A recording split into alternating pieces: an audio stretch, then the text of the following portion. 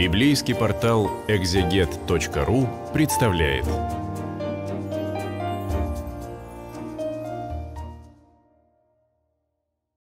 Седьмая глава книги Судей или книги вождей, как я ее в своем переводе называю, читаю для портала «Экзегет», она продолжает историю Гидеона или Ерубаала. Шестая глава была предысторией. Вот мадианитяне вместе с другими народами угнетают израильтян, постоянно на них нападают, отнимают э, весь урожай, вообще все вытаптывают, угоняют, режут скот. Кошмар жить так невозможно. И молоденький парнишка Гидеон, который ничем не примечателен, вдруг встречает ангела, который говорит, а вот ты ты избавишь э, свой народ он не верит, он э, ждет чуда. И э, ему является три раза. Сначала сгорает э, от э, одного буквально движения ангела то, что Гидеон приносит ему как еду, потом два раза чудо с росой, такое маленькое-маленькое чудо. Давайте, Господи, все-таки мы уточним. Вот роса на шерсти будет, а вокруг не будет, значит, это от тебя весть.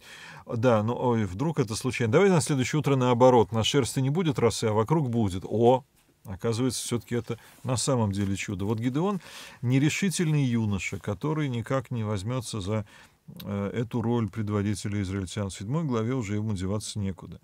Но что интересно, история Гидеона — это вот история про «сила моя в немощи совершается». И это будет еще и еще раз подчеркнуто. Ерубал, то есть Гидеон, у него два имени, в шестой главе это пытались объяснить вместе со всем своим войском выступил рано утром и расположился лагерем в Энхарод, а мадинитяне стояли к северу от него, в долине у холма Море.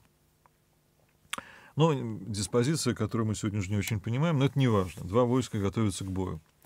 Сказал Господь Гедеон, слишком много с тобой народа. Я не могу предать в их руки мадинитян, не то станет Израиль прославлять себя самого, а не меня. Мол, сам он одержал победу. Вот что ты должен объявить народу. Кто страшится и пугается, пусть ступает прочь от Гедеона. Тогда ушло 22 тысячи человек, а 10 тысяч осталось. Ничего себе, войско готовится к битве, выходят полководцы, говорит, кому страшно, идите домой. И уходят две трети. 22 ушло, 10 осталось. Зачем так делать? Наоборот, надо заградотряды поставить, сказать, расстреляю сволочей, если не пойдете в атаку. Бояться, не бояться, пусть боятся того, что у них в тылу еще больше, чем... Нет, нет, потому что э, вот то, что я сейчас назвал, это значит мы победили. А когда нас мало, но мы преданы Богу, значит Бог победил. Но Господь снова сказал Гедону, все еще слишком много народа, отведи их к воде, и там я сделаю выбор. На кого я тебе укажу, чтобы он шел, тот пусть и отправится с тобой, а на кого укажу, чтобы не шел, тот пусть останется. Вот интересно, э, Господу тоже не всякий подходит. Он э, видит какие-то внутренние движение человеческого сердца и, вероятно, может отделить того, кто будет говорить «это я победил» от того, кто действительно послужит орудием Господа.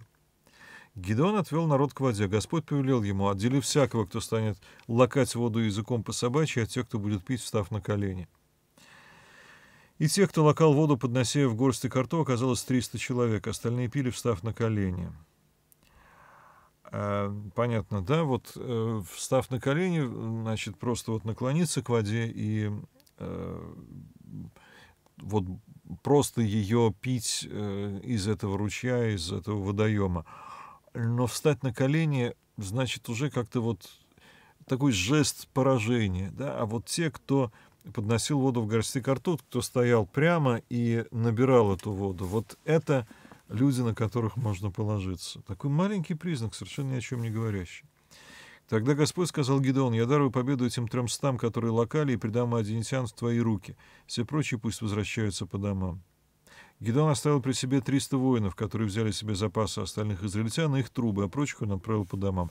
Абсолютное безумие. Мало того, что во главе войска молодой парнишка боязливый, так еще и войско все распустили. Их там было 30 с лишним тысяч, осталось 300 спартанцев, да, ну не спартанцев. А вот э, для некоторых вещей не нужно много народу. Как они могут победить огромное войско? Естественно, какой-то спецоперации.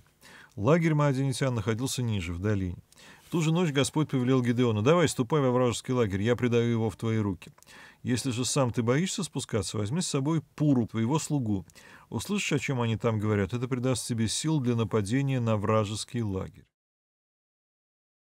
Ну и совсем уже, э, когда главный полководец Гидеон, хотя какой он полководец, он одновременно лазутчик, если его там схватят, убьют, то все войско разбежится. Вот э, все идет по сценарию самому рискованному, самому безумному, чтобы показать, это Господь, это Господь, это Господь. Гидеон со своим слугой Пурой спустился к охране на самом краю лагеря. Мадианитяне, амаликитяне и прочие восточные племена расположились в долине, как саранча, и верблюдам их не было числа, как песку на берегу морском. Гидеон приблизился, и вот один воин рассказывал другому сон. Снилось мне, будто катилась круглая ячменная лепешка по лагерю Мадиамскому, налетела на шатер, да и снесла его, опрокинула так, что шатер развалился. Другой отвечал ему — Чему же это быть, как не мечу израильтянина Гидеона, сына Юаша? Предал Бог в его руки мадианитян со всем их лагерем. Вот, оказывается, э, Господь насылает э, видения и истолкование этих видений на воинов вражеского лагеря. То есть прежде победы э, он отбирает, с одной стороны, тех, кто вот как сталь, да, кроме Гидеона. Гидеон у нас боязливый паренек. А с другой стороны, он, наоборот, размягчает этих людей. Так что совсем не числом. Услышал Гедеон, как рассказан был сон и как истолкован, поклонился Господу, вернулся в израильский лагерь и объявил «Выступаем!» Предал Господь наши руки лагерь Мадиамский. Гидеон не верит сам, пока ему не говорят мадианитяне, что он победитель. Да? Вот только э, по контрасту с чужой слабостью духа он обретает сам силу. Ну а дальше э, интересный тактический прием. Он разделил 300 воинов на три отряда, каждому воину дал по трубе и по факелу, спрятанному внутри сосуда, чтобы до времени не светить, да? Он сказал им, глядите на меня и повторяйте за мной. Едва мы подойдем к лагерю, сделайте то же, что и я. Станем трубить в трубы, я и те, кто со мной, и вы трубите со всех сторон вокруг лагеря и кричите за Господа и Гидеона. Гидеон и сто человек с ним подобрались к краю лагеря как раз в начале средней ночной стражи. Ну, ночь делилась на четыре стражи, значит, это середина ночи. Сразу после смены охраны они затрубили в трубы и разбили сосуды, которые держали в руках. Ну и факелы горящие стали видны. И воины в других отрядах стали трубить трубы, разбив сосуды. В левой руке у всех были горящие факелы, а в правой трубы. Э, то трубили они, то кричали «Меч Господа и Гидеона». А, соответственно, воевать-то они не воевали, это была психическая атака. А представим себе, мадианитяне мирно спят, тут ко всех сторон огни, трубы, 300 труб, это значит трубач там тоже на сотню-другую человек, значит, сколько же это э, войско нападает. И это все внезапно, и ничего не видно, и страшно. Так стояли они по своим местам вокруг лагеря, даже не нападали. В лагере началась общая суматоха, крики и бегство. Так 300 человек трубили, а Господь по всему лагерю заставил врагов разить мечом друг друга. Они ничего не понимают, мечутся, видят человеческие фигуры, начинают мечом э, махать и убивать их, друг друга режут. И так они обратились в бегство до Бет-Шитты, что по дороге на Церару, к берегу Авельмехолы, что около Таббы. Позвали на помощь израильтян из племени Нефалима, Асира обеих частей Моноси, там э, Моносия к западу и к востоку от Иордана. В Ефремово на горе тоже отправил Гедеон гонцов, чтобы передать ефремлянам «Спуститесь навстречу мадинитянам и перекройте им подход к водам Иордана до Бет-Бары». Интересно, победа одержана силами трехсот, причем специально одобранных. А вот результатами победы уже весь Израиль э, должен, ну, не то чтобы насладиться, а поучаствовать вот в этом окончательном триумфе. То есть это не только для трехсот, это для всех. И э, здесь уже такая солидарность народа. Тогда схватили двух мадиамских вождей Урева и Заева. Урева убили у скалы, которую назвали Урев, а Заева у давильни, названный Заев, давильня винограда. Преследовали манединтян продолжалось, а голову Урева и Заева из Иордана принесли Гидеону. Ну вот э, такая великая победа. А что делать дальше? Вот, э, как говорят, у, у победы много отцов, поражение всегда сирота. Как будут делить победу и что будут дальше предлагать Гидеону, мы прочитаем в восьмой главе.